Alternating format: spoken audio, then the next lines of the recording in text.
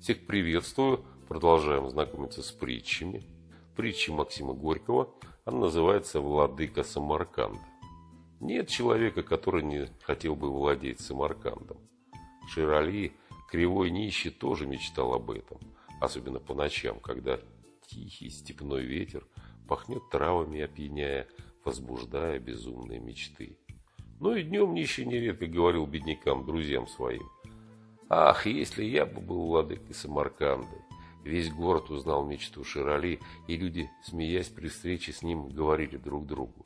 Вот этот одноглазый тоже хочет владеть Самаркандом. Узнал о мечтах нищего сам, великий хромой Тимурхан. Узнал и удивился. Жестоко. Несправедливо это, сказал. Несправедливо, если мечта героя доступна сердцу ничтожного нищего. Ведь запомнил он в глубоком сердце своем имя Шир-Али.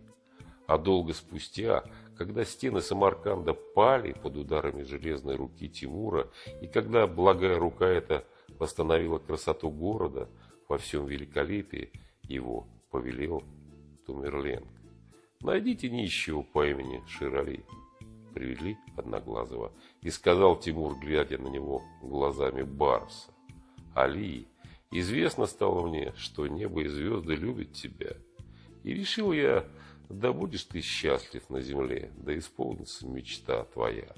И приказал, омойте нищего, оденьте его и поклонитесь ему. Отныне он владыка Самарканда, как того хочет мой разум, как решило сердце мое. Вот, сидит Ширали на коврах, выше всех весь в шелке и золоте, сидит, открыв рот – и одинокий глаз его не виден в радужном блеске драгоценных камней, а перед ним стоят, преклонив голову, великие мурзы, воины, мудрецы и 99 тысяч удивленного народа. И сам непобедимый стоит перед ним, прислушиваясь молча, как рыгает чисто вымытый по горло сытый нищий.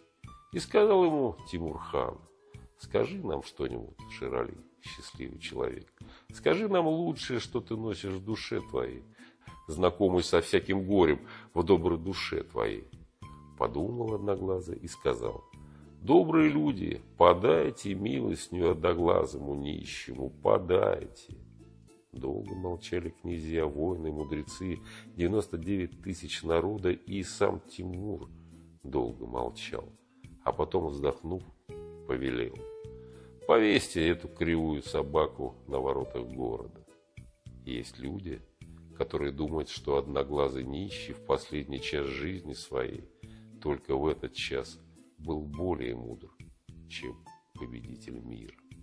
Ну вот такая притча, притча Максима Горького. Она называется «Владыка Самарканда». Пока-пока, до свидания.